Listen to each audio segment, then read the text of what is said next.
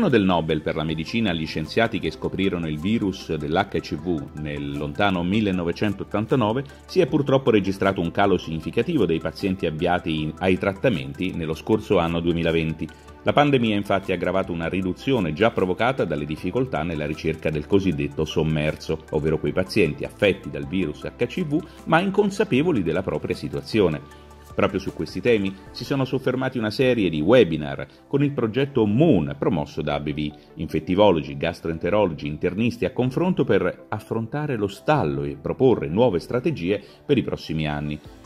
Quando è iniziato il progetto Moon, i trattamenti avviati ai dati al 21 settembre 2020 erano stati 213.052. L'incremento negli ultimi tre mesi dell'anno è stato di quasi 4.000 unità, segno di una piccola ripresa, rallentata però dalla seconda ondata del Covid-19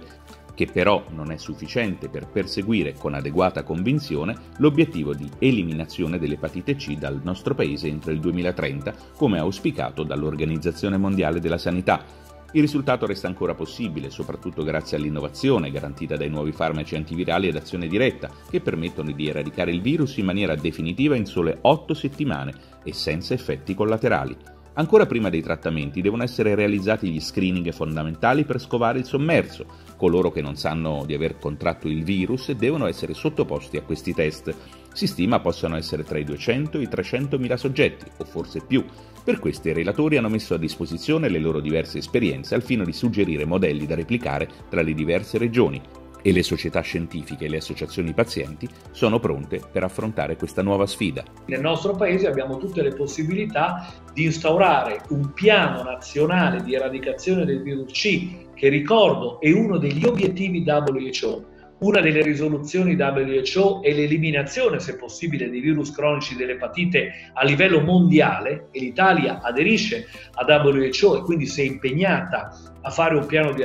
di, diagnosi e poi eradicazione globale, beh, quello che si può fare, si potrebbe sfruttare questo disastro del Covid come? Beh, nel momento che noi dovremo andare, ad esempio, a fare le vaccinazioni per il Covid, è chiaro che dovremo andare, prima di fare la vaccinazione, a vedere la sierologia perché calcolate che nel nostro paese scopriremo che un sacco di gente ha avuto questo Covid e non sapeva di averlo avuto. Ecco, potrebbe bastare in quel momento aggiungere alla sierologia per il Covid la sierologia per HCV. E a quel punto, una volta che abbiamo identificato i pazienti con HCV, linkarli ed eradicarli. È chiaro che questo è un, un, piano molto ambizioso, ma fattibile. D'altronde, il piano di eradicazione globale dell'epatite C è una delle cose in cui il nostro Ministero della Salute si è impegnato nel corso degli ultimi anni. Quindi un suggerimento potrebbe essere combinare al momento in cui faremo la serologia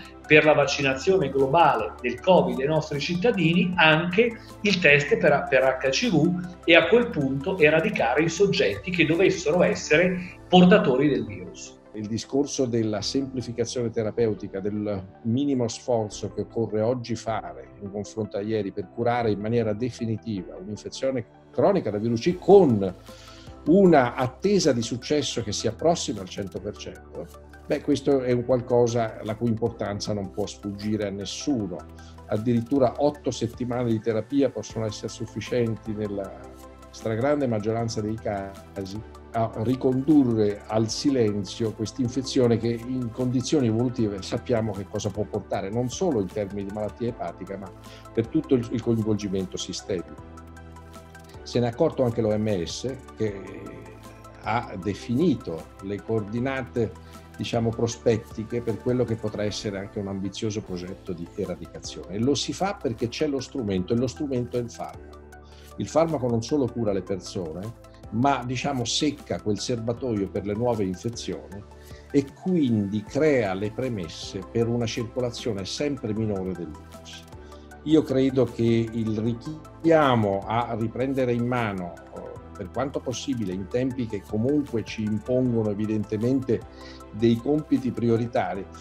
Diciamo il richiamo sull'epatite C è un richiamo che occorre non solo fare ma ripetere e eh, vivacizzare eh, con una certa frequenza perché abbiamo già perso del tempo. Per noi patologi che hanno visto abbiamo visto la scoperta dell'epatite C, la comparsa di cure dell'epatite C, abbiamo studiato negli anni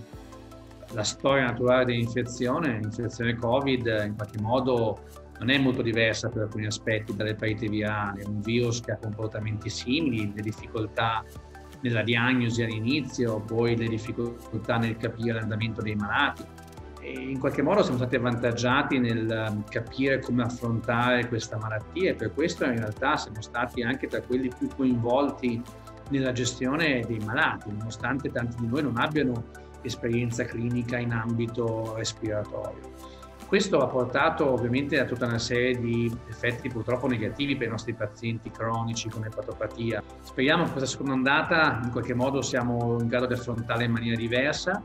attuando una serie di misure nei nostri centri che garantiscano un effetto uh, minimo dell'epidemia Covid sui pazienti con epatite virale, ad esempio,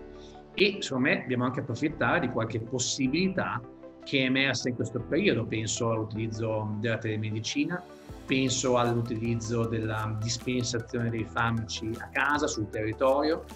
penso alla possibilità anche di coniugare percorsi di screening, di diagnosi del Covid alla diagnosi dell'epatite C. Chiaramente sull'identificazione dei pazienti con epatite C sappiamo molto, sappiamo come farla,